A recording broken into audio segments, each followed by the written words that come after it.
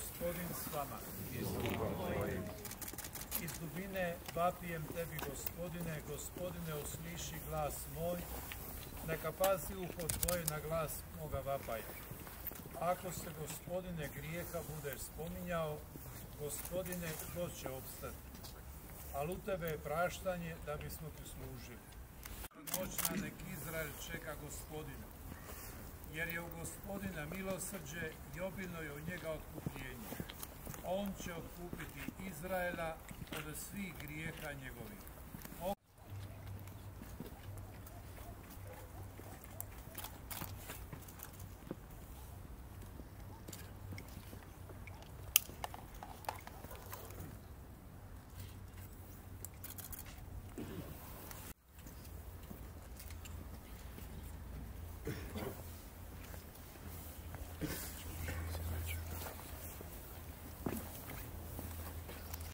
Okupili smo se još jednom na današnji dan, da na isteku godine koji je iza nas, u kojoj smo obilježili stotu godišnjicu rođenja predsjednika Tuđmana i u kojoj je nažalost nakon duge i teške bolesti umrla njegova supruga Ankica, odamo počet čovjeku koji je najzaslužniji za stvaranje Hrvatske države koja evo ovih dana potiče i ostvaruje neke od svojih ključnih nacionalnih uspjeha, a sve na temeljima koje je predsjednik Tuđman stvarajući Hrvatsku državu, otvarajući one temeljne nacionalne ciljeve 90. godina, postavio i na kojima mi na temelju modernog hrvatskog suverenizma gradimo i ostvarujemo one ciljeve koje danas stoje pred nama. E, sve se to događa na pragu godine isporuke, godine u kojoj ćemo konačno živjeti i u zajedničkoj šengenskoj zoni u kojoj ćemo uvesti euro. To je godina u kojoj ćemo također obilježiti neke značajne obljetnice. Ja bih tu posebno naglasio obljetnicu 25. godišnjicu smrti e, Tuđmanovog najbližeg suradnika i prijatelja ratnog ministra obrane Gojka Šuška.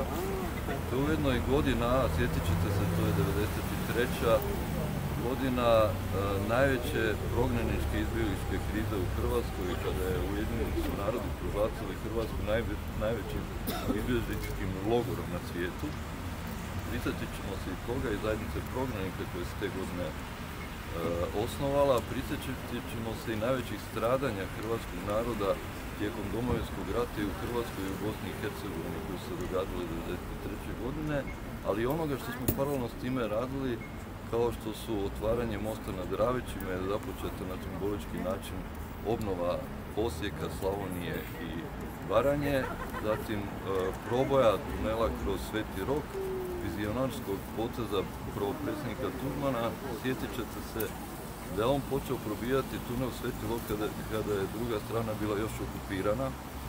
I masu drugih događaja jer slijedimo onu Tuđmanu da budemo moderni, budemo suvremeni, ali nikada ne zaboravimo tko smo i iz kojeg naroda smo potekli. Dakle, to je ono na čemu mi gradimo politiku, a što se tiče samog predsjednika Tuđmana, on je čitav svoj čitav njegov život i svjedočanstvo kako se za Hrvatsku možete boriti svih pozicija kojom je život namijenio.